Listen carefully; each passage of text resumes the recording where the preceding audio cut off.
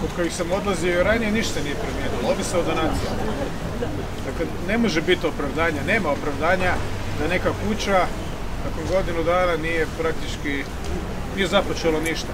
Naj, najgora stvar koju sam vidio, sad malo o lošim stvarima, je slučaj one zgrade u Sisku, u naselju Željezara. To je velika zgrada, petero, šestero katnica, koja je neupotrebljiva. Dakle, u principu treba srušiti. Prošlo je godinu dana, ljudi su i dalje po kontejnerima, to je 150 stanova, to je 500 ljudi. Ima općina s tolikim brojem stanovnika. Niti im košta javlja, niti im košta pita, ništa. Dakle, to grad Sisak ne može, to mora držati.